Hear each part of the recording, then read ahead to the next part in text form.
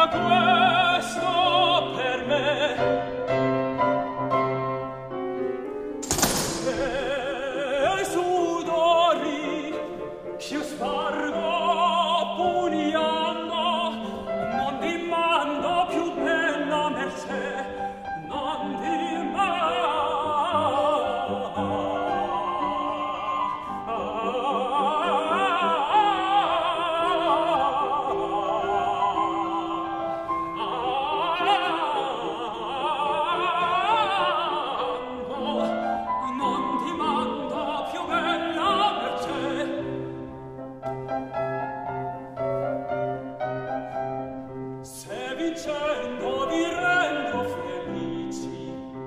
thank you